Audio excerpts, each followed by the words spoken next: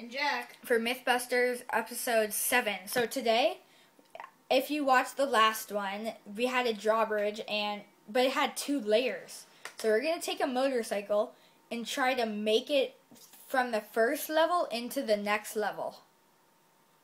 I'm trying to find how to get my car. Uh, I'll just use a random car. Somebody's. Yeah, I guess we could just use a car. It might they might call the police though. Uh, who cares?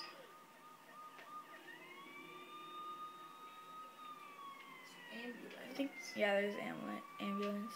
Okay, so let's get a giant. Trying. distance. You don't want to get actually you don't want to get too much because you don't want to make it. What you want to make it to the top though? No, you want. Oh yeah, you want to make it to the top, but you don't want to make it to the bottom one because that one doesn't really matter. See, Okay, there's no chance. What about a motorcycle? Yeah, let's try motorcycle. Wherever that is. You see any? Well, I have one. I just don't know how to get it.